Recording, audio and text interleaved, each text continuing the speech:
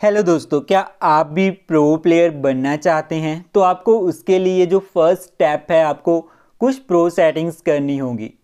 Bye default जो settings होती है, उसको चेंज करना होगा। कुछ प्लेयर्स क्या करते हैं? बाय डिफ़ॉल्ट सेटिंग्स के साथ ही खेलते हैं या चेंज भी करते हैं बट अच्छी तरीके से चेंज नहीं कर पाते हैं।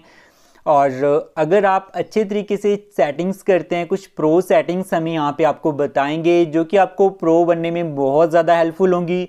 तो अगर आप चैनल के ऊपर नए हैं और अगर आपने अभी तक चैनल को सब्सक्राइब नहीं किया है तो सब्सक्राइब कर लीजिए, क्योंकि ऐसी ही शानदार वीडियोस आपको हमारे चैनल के ऊपर मिलने वाली हैं। तो शुरू करते हैं। तो हम यहाँ पे आ जाते हैं सबसे पहले सेटिंग्स पे। सेटिंग्स पे हम आपको कुछ बेसिक सेटिंग्स यहाँ पे बताने वाले हैं, जो कि हमें चेंज करनी है। तो बाय डिफ़ॉल्ट आपका पीक एंड वायर का जो बटन है, वो डिसेबल रहता है। तो आप इसे इनेबल कर लीजिए। मैं यहाँ पे मार्क कर देता हूँ ब्रश के साथ। तो देखिए ये वाला आपको इनेबल कर लेना है और इसके साथ ही आपको यहाँ पे एक और जो चेंज करना है वो यहाँ पे ये है, आपको peek and scope peek and open scope आपको हमेशा इनेबल रखना है क्योंकि पीक एंड फायर ही हमें करनी होती है अगर आपको प्रो प्लेयर बनना है, ठीक है? तो जो नेक्स्ट सेटिंग है वो हम यहाँ पे आपको बताने वाले हैं और अगर आप फोर फिंगर प्लेयर हैं तो डिस्प्ले जो लेफ़्ट साइड फायर बटन है उसे हम ऑलवेज ऑन रखें और अगर आप टू फिंगर प्लेयर हैं तो स्कोप ऑन पे ही जो लेफ़्ट साइड का आपका फायर बटन है, उसे तभी इनेबल करें। अदरवाइज़ आप जो मूवमेंट करोगे तो आपको प्रॉब्लम हो सकती है।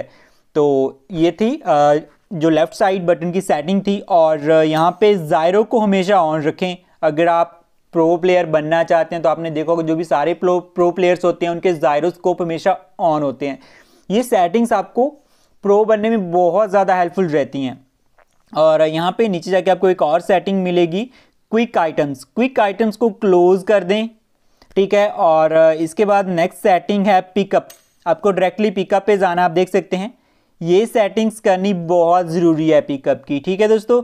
तो यहाँ पे मैं आपको, देखिए, यहाँ पे जो असल राइफल की ऑटोमेटिक एमओ आपको कितनी उठानी है? यहाँ पे लिखा है 220 बाई डिफ़ॉल्ट रहती हैं। तो 220 से हमारा काम नहीं बनता तो यहाँ पे हमें 300 कर लेना है। तो क्या होता है? ऑटोमेटिक जब हमारा करेक्टर 220 ट्वेंटी एमओज उठा लेगा, उसके बाद वो एमओ उठाना बंद कर देता है। तो हमें फिर बाय डिफ़ॉल्ट उठानी पड़ती है टैप टैप करके। बट हमें ऐसा नहीं करना है। तो इसके लिए हमें क्या करना है, यहाँ पे एमओ को 300 कर देना है, ठीक है? 300 हंड्रेड बहुत होती हैं तो यहाँ पे 300 कर दीजिए ताकि हमें बार बार उठाने की ज़रूरत नहीं पड़े, क्योंकि एक एम से हमें रश वश करना होता है। तो अगर एमओ एमओ खत्म होगी या फिर हमें गाड़ी वाड़ी पे कई बार फायर करना होता है तो बहुत ज़्यादा एमओ एमओ हमारी वेस्ट हो जाती है। और एम सिक्सटीन पे भी 300 कर लीजिए तो ये सारी 300 कर लीजिए। आपको इससे ज़्यादा नहीं करनी है। 300 के आसपास रख लीजिए। 220 थोड़ी सी कम रहती है तो 300 के आसपास ये रख लीजिए सारी की सारी स्कार एल और एम की भी। तो ऑटोमेटिकली आप इनमें से कोई भी गन उठाएँगे तो ऑटोमेटिकली पाँच की एमओ आपकी हो जाएँगी। फुलफिल हो जाएँगी, ठीक है? और गुरोजा वरोजा इसकी रहने दीजिए, क्योंकि जो गन्स हैं हमें ड्रॉप में मिलेंगी तो हमारे पास इसमें सेवन की एमओ यूज़ होती हैं तो हमारे पास ऑलरेडी एमओज रहेंगी। और मेड किट हमेशा तीन रख लें बाय डिफ़ॉल्ट दो रहती है, तीन मेड किट हमेशा रखें। और फ़र्स्ट एड किट यहाँ पे तीन है तो तीन ही रहने दीजिए, काफ़ी रहती हैं। बैंडेज टेन काफ़ी एनर्जी ड्रिंक पाँच काफ़ी होते हैं पेन किलर तीन और एडलिन यहाँ पे तीन रहते हैं। और अब आती है बारी फ्रैग ग्रेनेड कि आपने देखा होगा, हमारा करेक्टर बाय डिफ़ॉल्ट जो फ्रैग ग्रेनेड है, वो ऑटोमेटिकली नहीं उठाता।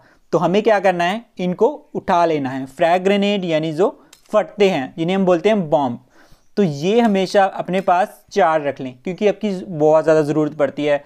और तीन स्मोक आपके पास होने चाहिए, और तीन ही मौली ले लें, कि मौली की ज़रूरत बहुत ज़्यादा पड़ती है। अगर आप पूरे स्क्वायर के ऊपर फेंकोगे तो उनकी आधी की आधी हेल्थ उसी टाइम डाउन हो जाएगी। और स्टन ग्रेनेड की हमें इतनी ज़्यादा ज़रूरत नहीं होती, क्योंकि हम इसे यूज़ ही नहीं करते। बट अगर हमारे पास कुछ भी नहीं हो तो आप इसे यूज़ कर सकते हैं सामने वाले एनमीज़ को अंधा करने के लिए। तो इसीलिए डाला गया है, बहुत सारे लोग सोचते हैं कि स्टन ग्रेनेड का कोई यूज़ ही नहीं है।